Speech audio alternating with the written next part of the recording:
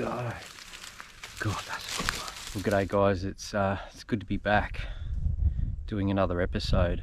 I've gone back to uh, to basics, and that means uh, fishing like I used to as a kid. I've stumbled on a development where there's uh, a pipe system that hasn't even been finished yet and there's about two foot of water at the deepest point and less than a foot further down and there's a heap of fish trapped in here. What I've done is I've brought really light gear. I've got a, a small reel, four pound fluorocarbon all the way through, my old um, trusty telescopic rod which I've uh, which I've taken on the plane to Melbourne and, and Sydney when I want to catch a, a black bream down there. There's a heap of tilapia in front of me. I've got to get them to bite. It's all going to be visual fishing. There's only one way these fish can go as well, and that is straight in front of me when they take off. Some serious fish in here. There's some good size fish too. Oh, it's a bit gnarly. Get you out the way.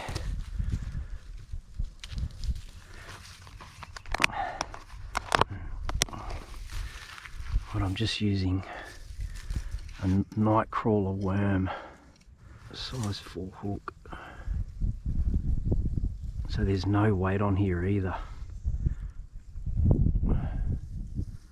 Just wake him through there, throw him up the hook. God, this is so exciting. Old school fishing.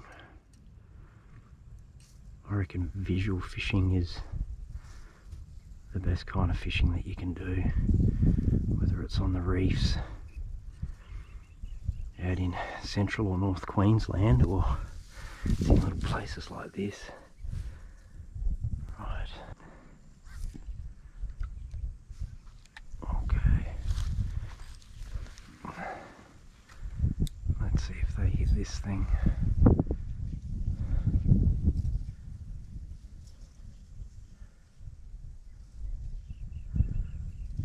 I'm just watching that line.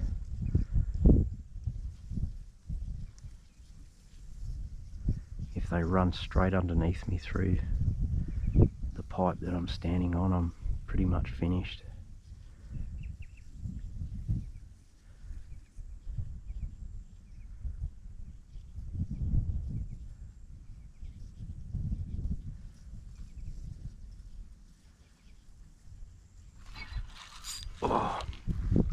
We got? Oh, you're kidding. You are kidding me. Oh my god. A whiting.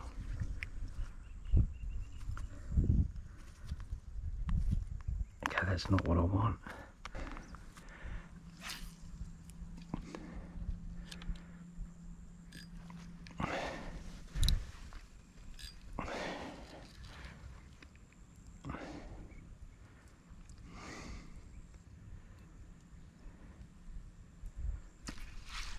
Oh my god. How quick was that? Actually, I think there's a tilapia hanging underneath that weed just to the left of that pipe. Okay. So the tilapia are being really sneaky. They're hiding underneath the weed now over the other side. So I'm going to try and see if I can entice one.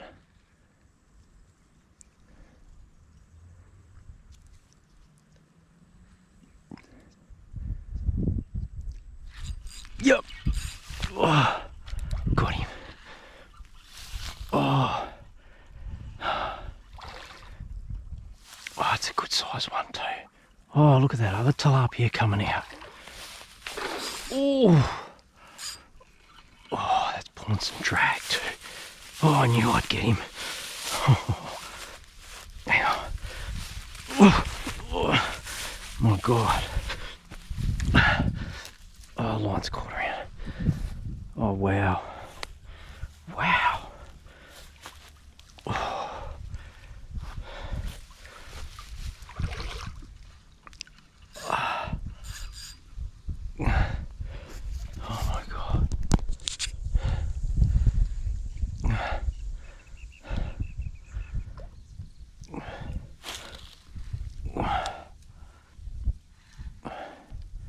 Okay. Man, you're a good size. How am I going to go on four pound? Oh, forgot to bring the net. Oh, look at that. Oh, okay, I've got you.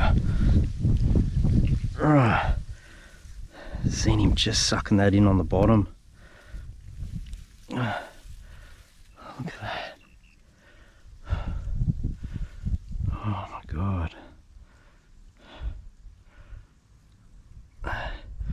These can't be thrown back in the water because they're an obnoxious species so unfortunately I'm to leave him out. Wow that was cool. Got a visual bite on that. Oh.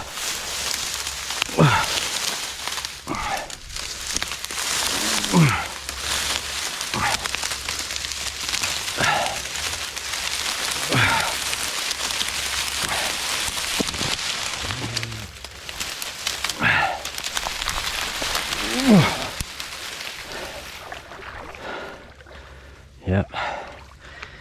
Some people will say I'm crazy.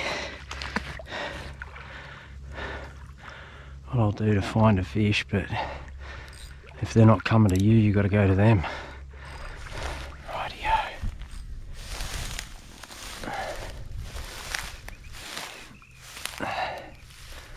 I've just spotted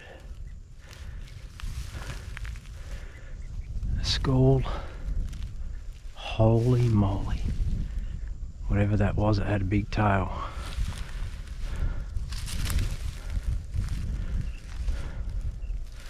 That was big.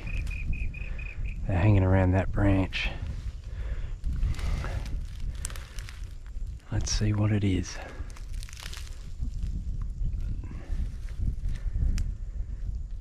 I'm trying to hide.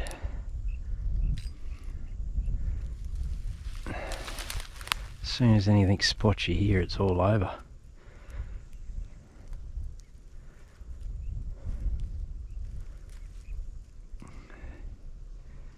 They're hanging in the deeper parts now, which makes it tricky.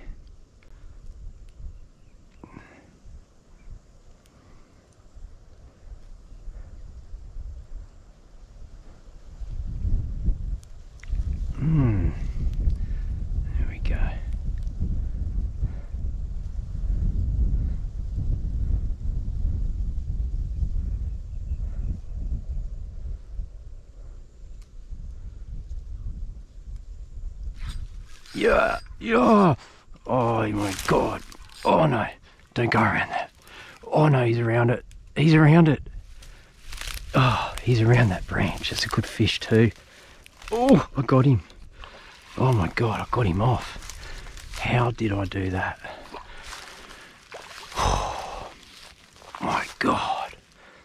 Oh, that's a good fish too. That is a cracker. Oh, it's a tarwhine. Are you kidding?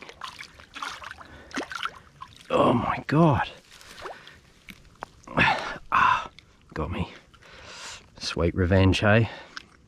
Comfort lift? Probably not. Wow. Look at that, big tarwhine. It's only on four pound. He had me around that little branch in the water. Oh, that's slippery. Okay. See you later, champion. Alrighty-o, that was a bit of fun in the skinny stuff. I guess if I had some tips for you, don't be afraid to go light. Now, if you're going for your uh, your bread and butter fish, two pound, four pound, six pound, around, stick around that. Don't be afraid to go fluorocarbon all the way through. Use a little reel, 2,000, two and a half thousand size one to three kilo rod or a two to four kilo rod, somewhere around that. And if you don't need weight, don't use it. You want to keep that bait as natural as you can. If you enjoyed this story, show the love, big thumbs up, drop a comment. We'll see you next time.